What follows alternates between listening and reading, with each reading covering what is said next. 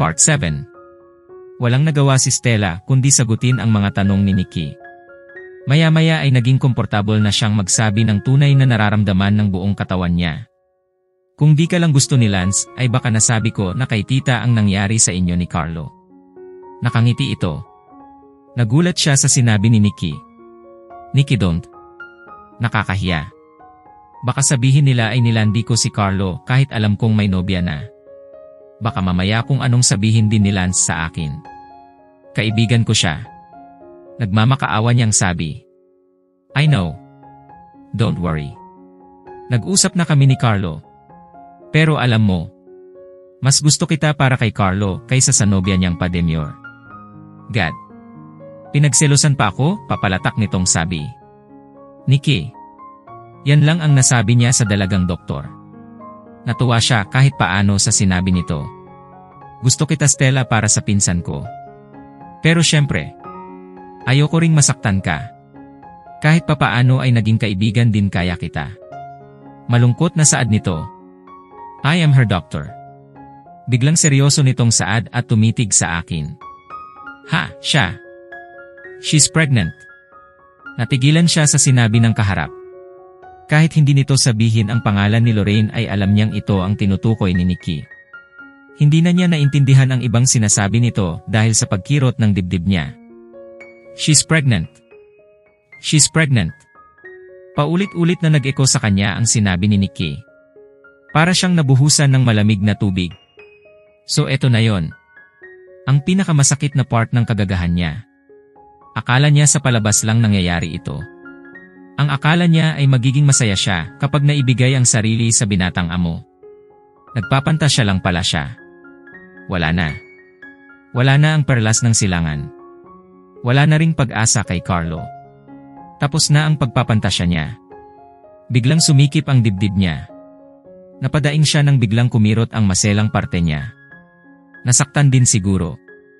Hindi na niya napansin na nakalabas na pala si Nikki ng kwarto niya. Napahiga siya at tumagilid. Pilit na pinipigilan ang mga luha.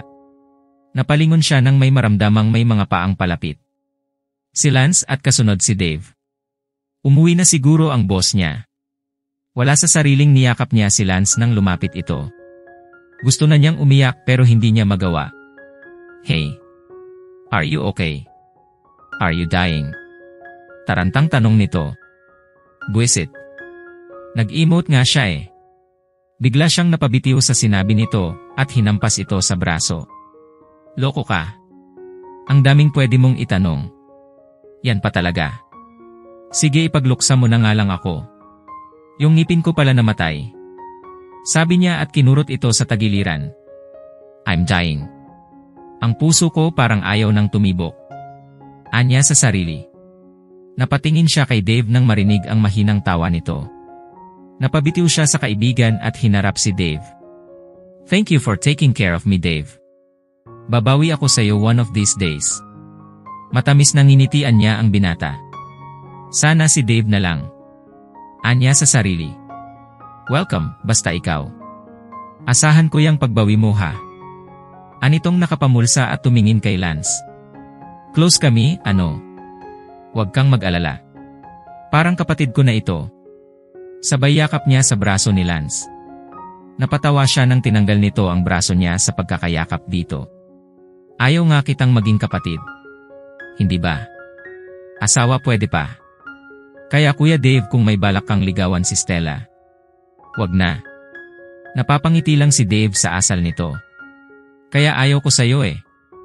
Para kang bata. Marami namang babaeng nagkakandara pa sa'yo. Bakit ako pa? Anyang natatawa. Eh sa hindi ko naman sila gusto. Gusto lang nila ako kasi miyembro ako ng banda. Ang gusto ko ay yung gustuhin at mahalin bilang ako. Turan nito. Natigilan siya sa sinabi nito. Napalingon sila ng may tumikhim. O kuya. Akala ko nakaalis na kayo. Oo nga. Akala niya umalis na ito. Tumingin ito sa kanya. Can we talk? Seryoso nitong tanong. Hindi siya sumagot. Maya-maya ay binalingan ang dalawa. Nahulaan naman ng mga ito ang gusto nitong mangyari kaya lumabas na sila. Ano naman ang pag-uusapan nila? God. Kung tungkol sa nangyari sa kanila. Pwede bang pass muna? Kinuha niya ang unan at ipinatong sa mga binti. Pinakiramdaman niya ang binata pero nakayuko lang siya at nilalaro-laro lang ang mga daliri. Gumalaw ang kama niya. Alam niyang naupo ito. Hindi pa rin ito nagsasalita. Ano? Magpapakiramdaman lang tayo. Hindi na siya nakatiis. Binasag na niya ang katahimikan nito. I'm sorry. Mahinang sabi nito. Yun lang. Tanong niya. We should stop this Stella. Mahinang sabi nito. Natigilan siya saglit.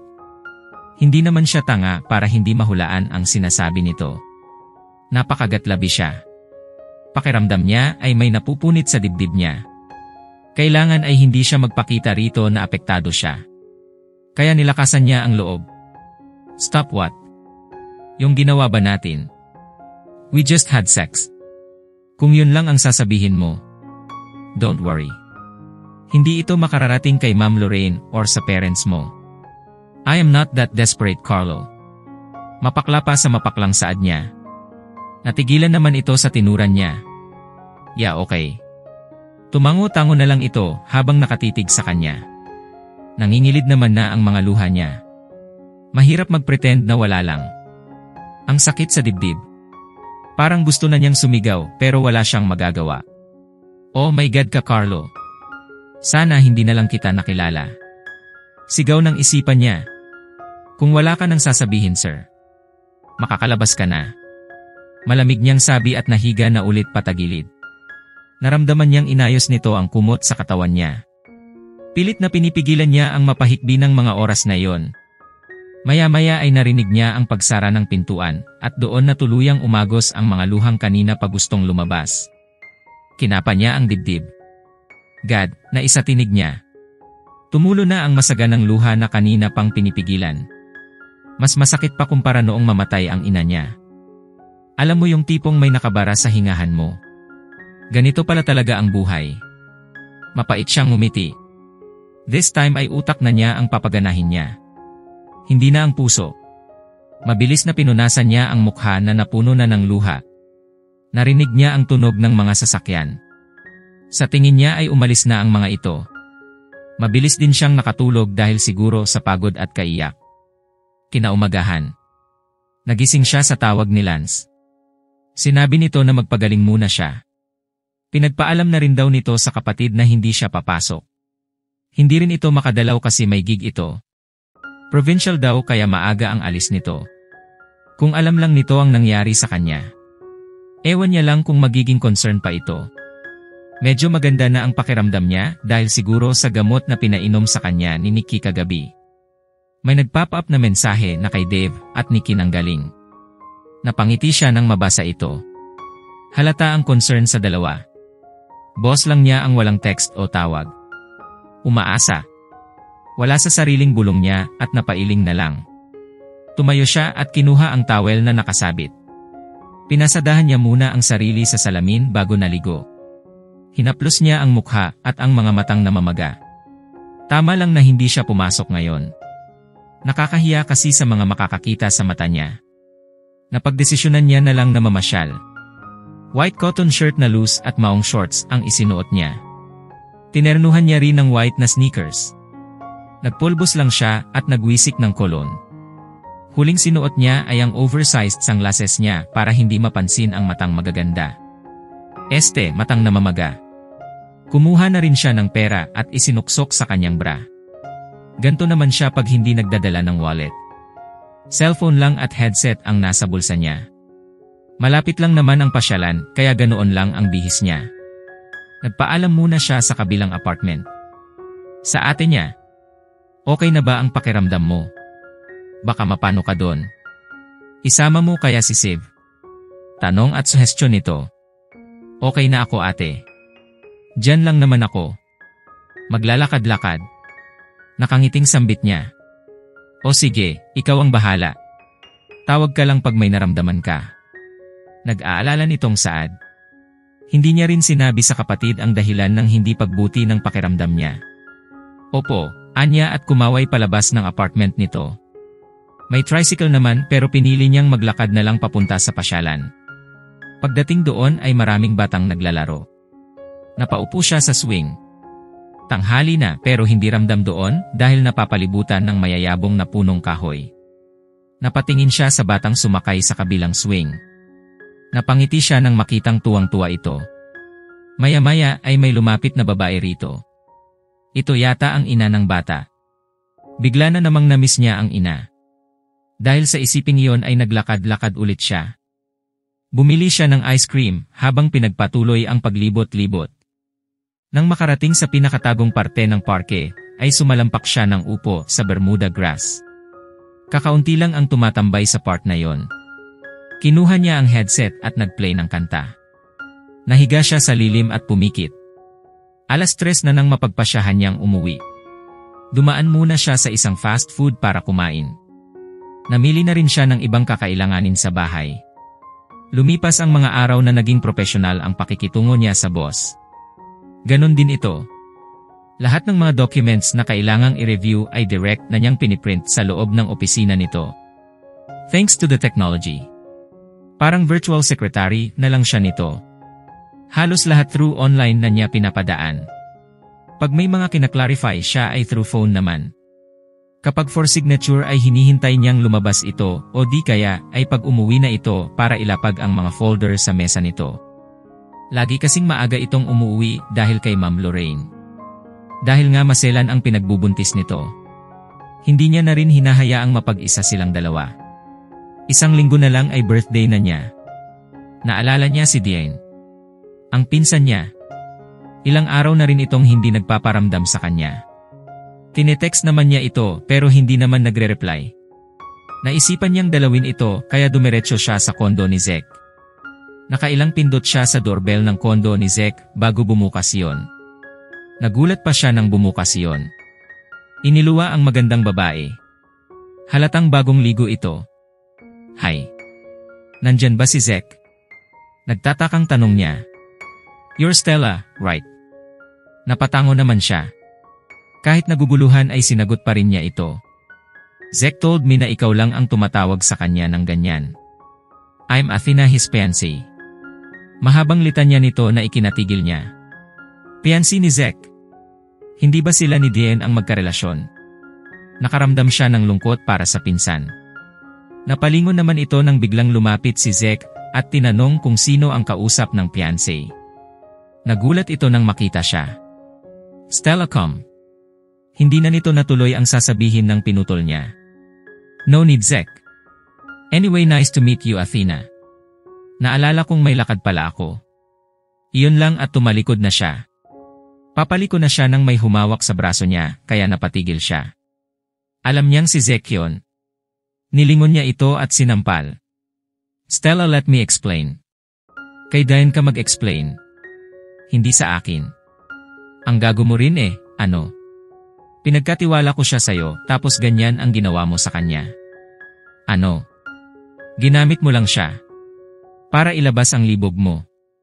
Gigil na gigil niyang sabi at dinuro-duro niya pa ito sa dibdib. Hindi niya alam na parang sasabog na ang dibdib niya. Pakiramdam niya ay si Carlo ang pinagsasabihan niya. I'm sorry. Napayuko ito. Napangisi siya ng mapakla. Magkaibigan nga talaga kayo. Anya sa sarili. Pare-parehas talaga kayong mga lalaki. Biglang naibulalas niya at iniwan na ito. Mabilis na sumakay siya ng elevator at kinuha ang cellphone sa bag. Nakailang dial siya pero nagriring lang ang cellphone ni Diane.